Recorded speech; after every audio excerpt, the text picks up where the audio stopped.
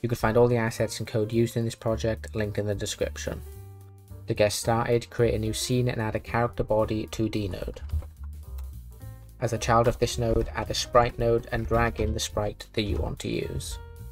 Next we want to select our character body 2D, rename it to be player.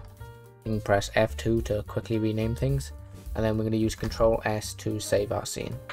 I'm just going to call it player.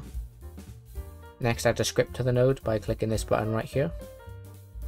Just click create, and then we're going to delete all of this because we don't need it. Before we begin coding, we're going to create a custom input. To do this, head to project, project settings, and head on over to input map.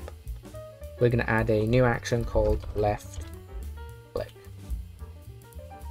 We can assign this action an input by clicking this plus button, going down to the mouse button, and then select left mouse button.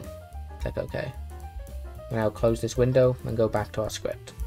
At the top of our scripture, we're going to define three new variables. The first variable is going to be speed and it's going to be equal to 300. The next two variables are going to be click position and target position and they're going to be assigned to a vector 2. Under this, create a new physics process function. Inside of our physics process function, we're going to add an if statement which checks if the left click input that we just created is being pressed. If it is, then we want to set the click position variable to be equal to the global position of the mouse. Now that we've got a position, we need to make the player move. To do this, we're going to create another if statement, which checks if the current position is more than 3 pixels away from the click position. If it is, then we're going to set the target position using this line of code, and set the velocity to be equal to the target position times speed.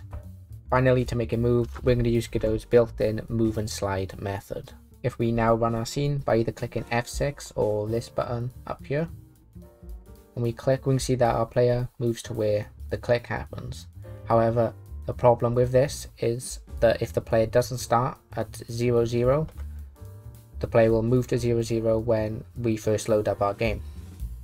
So to fix this, go back into your script, create a new ready function here, and set the click position to be equal to player's current position. So if we run our scene now, our player doesn't move straight towards 0, 0. That's it, consider checking out this other tutorial on screen.